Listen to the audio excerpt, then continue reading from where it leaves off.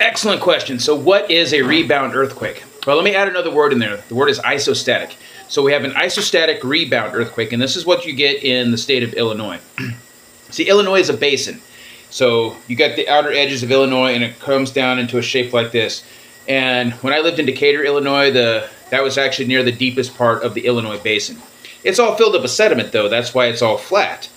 But anyhow, during the last ice age, when the ice sheets advanced as far south as Illinois, the ice was thick. You're talking about, you know, over a kilometer thick of ice. And that ice was pushing down on the continental crust.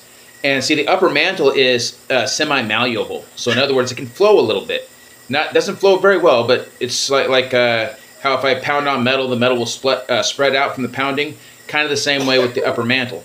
So that very thick mass of ice pressed down on the continental crust down into the semi-permeable, not permeable, semi-malleable part of the uh, upper mantle.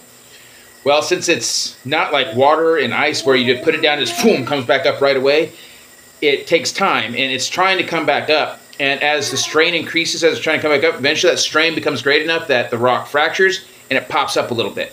And you're not talking about a lot of up movement, just a little bit, but you get a massive release of energy at certain fault lines whenever the, the crust pops back up a little bit. So you will get more uh, earthquakes like that in the future in Illinois, but they're called isostatic rebound earthquakes because it's the continental crust rebounding out of the mantle after it's pressed down by uh, the massive ice sheets from the previous ice age.